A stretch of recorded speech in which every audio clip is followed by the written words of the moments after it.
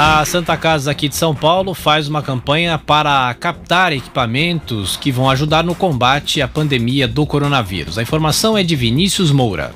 O provedor da Santa Casa de São Paulo prevê semanas duras e faz apelo por doações no enfrentamento ao coronavírus.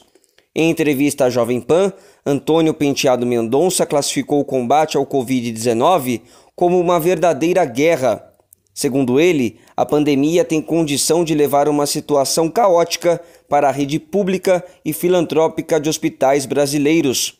O provedor da Santa Casa lembrou que a entidade continua recebendo normalmente pessoas com outras enfermidades. Antônio Penteado Mendonça ressaltou a necessidade de uma campanha pela captação de recursos e materiais de proteção ao coronavírus pode doar equipamentos, materiais, quer dizer, nós precisamos máscaras, nós precisamos luvas, nós precisamos aventais, nós precisamos respiradores, nós precisamos tudo.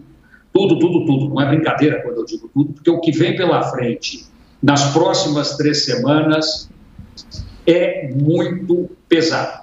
A Santa Casa de São Paulo recebe em média 70 pacientes por dia com sintomas de coronavírus. Destes, mais da metade são internados.